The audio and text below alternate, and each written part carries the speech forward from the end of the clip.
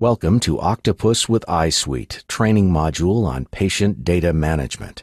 In this training module, we will discuss how to enter new patient data, search for an existing patient, search for an existing exam, enter exam data, and merge patient data. Enter new patient data. Within EyeSuite, click the Patients tab. Entering a new patient into EyeSuite is fast and easy. Click New.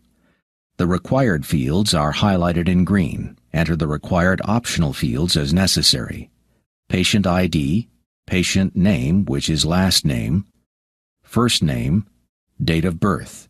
Gender and ethnicity are optional. Then click Save. Search for an existing patient. There are two options for searching for an existing patient record. Use the scroll bar located on the right of the patient list. Enter letters or numbers into the search query box at the top of the patient list. Search for an existing exam.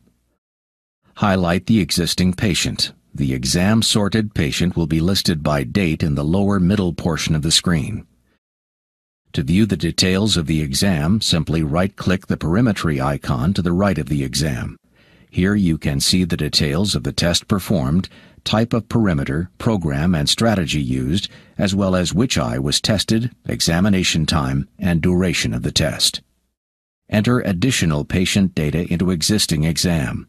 It's as easy as double left-clicking the plus symbol icon to the right of the exam date. There you can enter data specific to this individual exam, such as IOPs, sphere cylinder axis, dilated pupils, and comments. Then click Save. How to merge patient files and individual exams. Let's say you have more than one name for an existing patient who would like to merge all data under one exam. This can be done quickly with a left click and drag of the wrong name into the correct name. After completing the data, you will be asked for a reason for your action. Do so and click OK. Another scenario is that you tested an existing patient under the wrong name. You want to keep both names but move one or multiple exams to another name. Locate the exam, left-click and drag the exam or exams to the correct patient. Again, you will be asked to type in a reason for your action. Please do so and click OK.